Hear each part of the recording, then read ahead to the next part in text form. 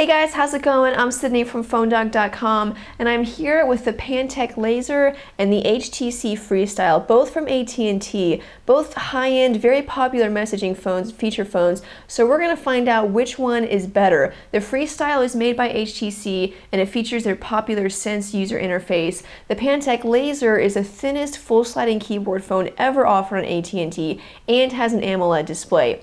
Both $100 on contract, so which one is better? That's we're going to find out in the dogfight. Freestyle versus laser. I'm Sydney from PhoneDog.com. Let's go check it out. Okay, so here we have the HTC Freestyle on the left and the Pantech Laser on the right. I'll start off first of all with just physical design.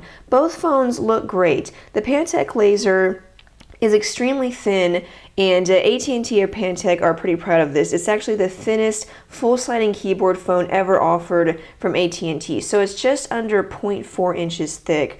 You know, it's not razor thin, you know, don't expect that or anything. But just considering that it does have a physical keyboard, it's extremely thin and sleek. It is made entirely out of plastic, but as you can see, it kind of has a metallic blue color. And then this front here is also sort of metallic blue. Uh, so, you know, it looks pretty nice, curved edges. It's a nice looking phone. The HTC Freestyle, on the other hand, in my opinion, does look better, even though the, the, the laser looks good. The Freestyle, you know, it's designed by HTC, who typically, you know, they only make smartphones, so they're kind of used to designing high-end quality smartphones, and the Freestyle is no different. So it's made out of aluminum, just like their smartphones, so build quality is excellent, but that also means that it looks like an expensive, high-end, nice phone. And uh, you know not just like a cheap or basic feature phone. So both of them look great. Uh, in my opinion the, the freestyle just looks better. Um, but it could be that the Pantech laser maybe appeals more to teenagers or a younger audience. And then if you want kind of a more serious looking phone the freestyle perhaps. But um, in reality the freestyle is better and uh, better build quality too with aluminum instead of plastic in terms of the display here, um, kind of similar size is a 3.1 inch display. The Freestyle has a 3.2 inch display, so not a whole lot of difference there. The Laser actually has an AMOLED display, whereas the Freestyle doesn't, but the resolution is a little bit higher than most feature phones. So it's 320 by 480, and then you have the AMOLED display with 480 by 800. So really, you know, the AMOLED display looks better. The colors are just brighter. Um, it's very clear, very crisp. The text looks great. You know, there's not a whole lot of pixelation. It just looks very clear. And then the colors themselves, um, very well saturated. You know, AMOLED display, hands down, is definitely much better than just a basic display on the Freestyle. I mentioned in the, in the, review of the Freestyle, the display is still great. It's very clear. Um, there's a clarity to it that you just really don't see in a lot of feature phones. But even considering that, um, the AMOLED display on the laser still looks better. However, one downside to the laser is that it's a resistive touchscreen, whereas the Freestyle has a capacitive touchscreen, and it's actually a very high quality capacitive touchscreen. The responsiveness was great. It's very smooth. Uh, I didn't have hardly any problems with the touchscreen. You know, I didn't have a whole lot of problems with the the touchscreen on the laser, but it's resistive. So, you know, it's not going to be as accurate. Uh, if you don't have nails, you know, it can kind of be difficult to use because typically you want a stylus or something similar with a resistive touchscreen. If you're just going to use your fingers, you know, it may be a little more difficult. So capacitive touchscreen on the Freestyle is definitely better and even though the laser has an AMOLED display, you know, which looks better than, you know, just a normal display, what we see on the Freestyle, um, I still would pick the Freestyle in terms of display because that capacitive touchscreen is great. It makes everything so much easier, especially since you don't have a keyboard, it makes the typing experience so much easier. So personally, I'm going to say, you know, the Freestyle wins in that department. We'll move on and talk a little bit about the UI on both of these phones, and I really like the UI on both of them. Neither one of them are, you know, just simple, plain Jane, cut and dry uh, feature phone UIs. They really add a lot of flavor um, to each device respectively. So the Freestyle it is made by HTC, so it has HTC Sense UI, which is one of the reasons why a lot of people say it looks like an Android knockoff. It's not a knockoff, it's HTC's UI, and they usually use it on their Android phones, but they can use it on whatever phone they want, and they chose to use it on a feature phone. So you have the Sense clock and weather widget here. You're also given, uh, you know, the full weather widget, uh, Sense the HTC Friend Stream widget, the clock messages. So all those things that you usually see on a feature phone or on a smartphone, you also get with the Freestyle, um, which is nice. I mean, these widgets are beautiful, but they're actually very useful and very functional. And not just with the weather, but you know, messages. It's very useful. The calendar is very well designed. And then, you know, just sliding through, you can see it's very smooth. The UI is is very well designed, so it looks great, but it's also something that will help you out. It's, it's a very useful UI, and then you have the three shortcuts at the bottom, then you have your menu with three panels. Uh, I'll mention briefly, you know, a couple of other things that you get with Sense. You have one of the best notification systems on a messaging phone. You can see here I have a message, so it shows up there. Uh, if I hadn't read it yet, it would also show up in this sort of you know alert bar where it tells me battery status and all that and then there's also a notification bar where it would list any missed calls uh, or text message that I had received. So the UI is very well designed, um, and again, it's it's great and it's cool that you can get that smartphone UI on a feature phone, and you don't have to pay for data. You know, true, if you don't have a data plan, the weather information won't show up here. It'll just be a clock, but it still looks great. So you know, it's not really that big of a deal. The Laser also has a great UI, though it's not quite as refined and it's not quite as smooth. So you have your home screen here, which again, you have the default clock. You can change this clock, but I'll get onto that in a second. So you have the home screen here with the clock, and then you have a page for uh, shortcuts, and then you have a page for your favorite contacts, which you can add to and scroll through if you'd like to. So a lot of the same options because you know you have you know shortcuts then you have shortcuts here favorite contacts and your favorite contacts.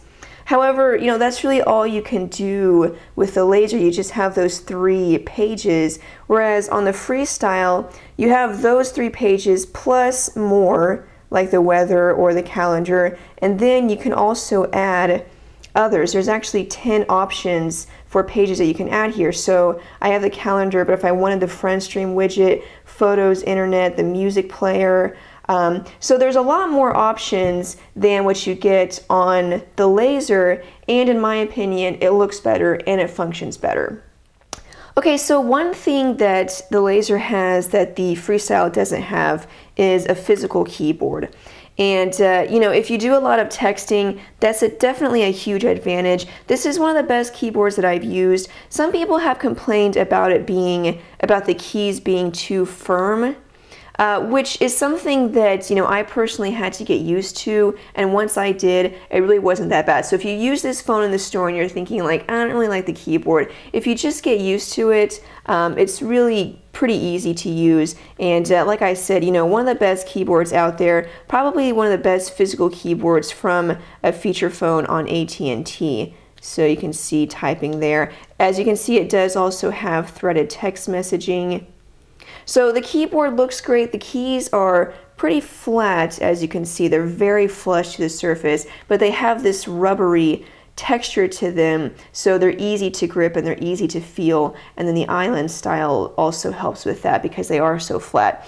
They're not the rubbery mushy type um, so if you don't like that good news. If you do like that bad news. Um, but regardless it is kind of rubbery so you get a good grip on it. They are a little bit firm um, but it's pretty easy to get used to. Overall uh, the keyboard is very well designed and you have plenty of um, punctuation keys which I always like comma period question mark, dot com. So that's very convenient. Now, like I said, you know, the Freestyle does not have a physical keyboard. So you're going to be using uh, the virtual keyboard only, which could cause some problems.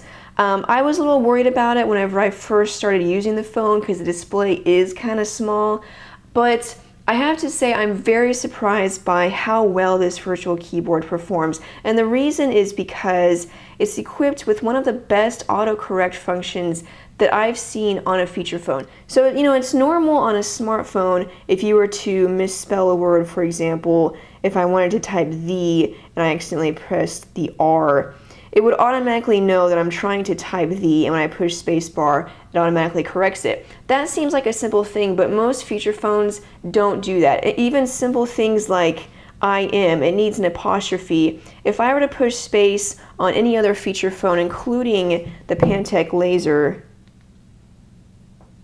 it would not know to correct it. There's no autocorrect functionality, whereas here it automatically adds uh, that apostrophe. So, you know, one of the best autocorrect features I've seen on a feature phone, and because of that, um, typing was pretty easy. I didn't have to worry a whole lot about being careful, you know, typing slowly and pressing the key, pressing the letter exactly on its key you know, that spell check and that autocorrect, it worked so well. So, you know, I'm still going to say that if you do a lot of heavy texting, then, you know, a physical keyboard is always going to be better for you. But even if you just do, you know, texting, moderate texting, the freestyle still works pretty well, and I'm definitely impressed with that. So, you know, that depends on if you're, you know, a heavy texter uh, or, you know, if you prefer a physical keyboard. But just know that the virtual keyboard is nothing to complain about on the freestyle. Both phones do uh, have threaded text messaging, so that's one thing they both have, which is nice. I'll talk a little bit about uh, the camera now on both phones. Neither one of them is really great. The Pantech Laser has a 3 megapixel camera, no autofocus, as you can see, there's no flash. It has, you know, certain features like smile detection, there's a self timer, you can change the brightness or the white balance, you know, just minor things like that. Same thing with the Freestyle. It's a 3.2 megapixel camera, again, fixed focus, uh, does have a digital zoom and a timer. So, you know, neither one is, is really, you know, that great. I did notice that the 3 megapixel camera on the Freestyle is, is very bad quality. Um, the pictures were worse than you know what I've seen with other 3 megapixel cameras including the laser. So you know I'm going to say overall neither one of them are great and they have the same specs. However the quality of the camera on the Freestyle is just not as good. Pictures were rough, they were kind of blurry, whereas on the laser, at least I could take a decent snapshot, um, and it was okay for that, but you know, neither one very impressive. They do both capture video, uh, VGA quality video with the laser, HVGA with the freestyle. Uh, nothing to shout about there. I mean, I don't think the quality of the video capture is so low, I don't think you would really be able to use it for anything worthwhile, but you do still have that option at least. Now, battery performance on both of these phones uh, is not outstanding, so that's a negative for both. Neither one really wins there. The Freestyle ships with a 1300 milliamp hour battery. The Laser ships with a 1000 milliamp hour battery. And, you know, honestly, battery performance was about the same. It lasted, uh, they both lasted about two days with, you know, normal to heavy use, uh, which isn't great. You know, I've heard a lot of people complain about the battery life on both of these phones, mostly because most feature phones or messaging phones can last, you know, four to five days with light use or on standby, you know, at least three days with heavy use. So, you know, two days with normal to light use is really not that great. But the thing that's important is that it's long enough to get you through a full day easily. It will easily last you a full day, and then you can charge it at night if you want to, or possibly get through one more day with it. So, you know, yeah, not as good, and you may want to complain about it, but it at least will get you through a full day, which, you know, a lot of smartphones can't do that. Now, in terms of, of media, you know, music and different things like that, they both do have a music player. The Freestyle has a 3.5 millimeter headphone jack. The Laser does not. It has a USB port, and then that's pretty much it. It's so thin you know, it doesn't have a 3.5 or even a 2.5 millimeter headphone jack. So, you know, a huge advantage there to um, the Freestyle for having the 3.5 millimeter headphone jack. So I want to just briefly talk about um, web browsing on both of these phones. I understand that you know, feature phones are not typically used for web browsing, and if you're going to do a lot of web browsing, more than likely you're going to buy a smartphone. So, you know, I understand that it's not typically used for that. Um, however, I did want to mention it just because the freestyle does so well with web browsing and so it's, it's worth noting that if you are going to do light web browsing or you might just need it on rare occasions uh, the freestyle is definitely better uh, mostly because you know data speeds are better it has a faster processor and not only that but the um, display actually supports multi-touch for pinch to zoom. So I'll load up PhoneDog and then see if I can do the same thing with the laser. Uh, the laser's web browsing abilities are very minimal um, and it's, it's very slow. It doesn't load the page very well. So this really isn't a contest because um, the freestyle wins easily, hands down. I just wanted to point out that if you are going to do light web browsing, then the freestyle is definitely better. As you can see, it loaded faster.